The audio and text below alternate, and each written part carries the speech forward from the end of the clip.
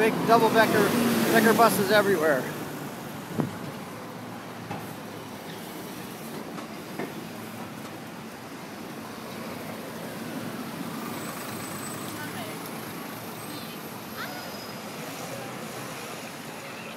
Going past Molly again, more people taking her picture.